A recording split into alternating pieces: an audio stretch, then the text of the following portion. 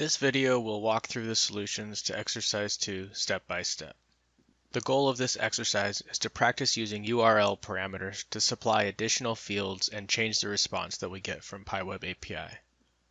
Our first task is to use the element controller's getByPath method to retrieve the AF element F110. Going to the documentation for this endpoint, we can see that it takes a URL parameter for the path along with some other optional parameters. We specify URL parameters by adding a question mark after the endpoint and then a name value pair. So in this case, we will put path equals and then place our path.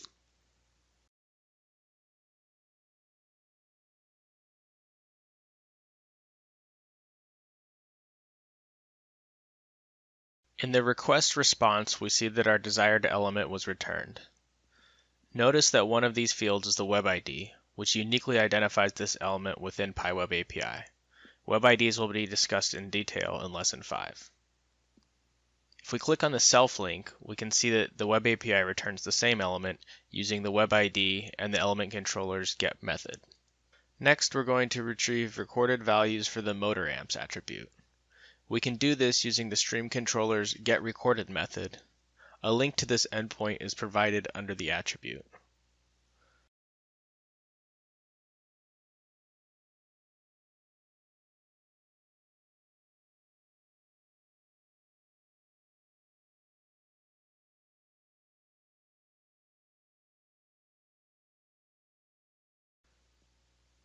To change the time range for the values we want returned, we can look at the documentation and see that this method takes a start time and end time parameter.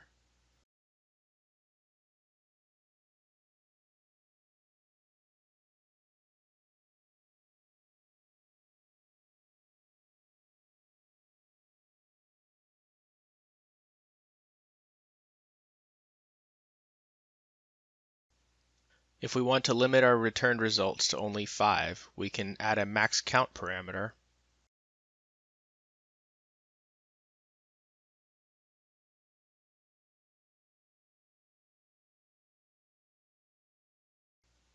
And if we only want values greater than 75 to be returned, we can add a filter expression parameter.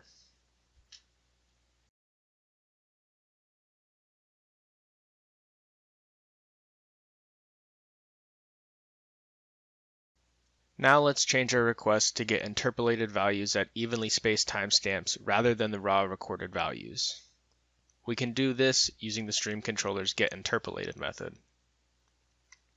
If we look again at the documentation for this endpoint, we see that in addition to the start and end time parameters, we can also specify an interval parameter to determine the spacing of the returned values.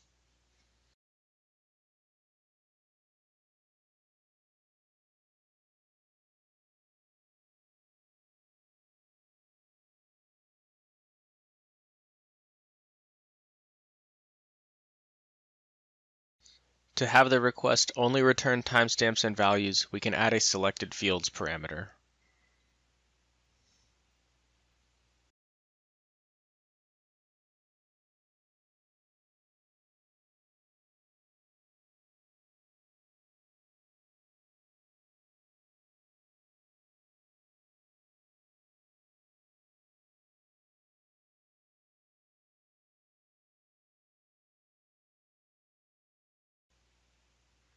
Our next task is to retrieve a calculated value for the average of this attribute over the last week.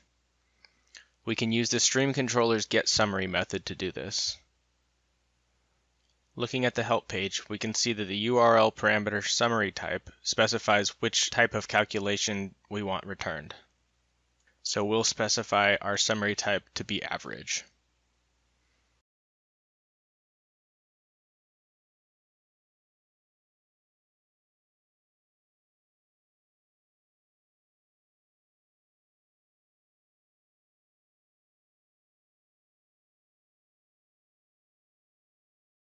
For the last step, we'll open the Chrome Developer Tools by pressing F12 and look at some of the other information that's available there.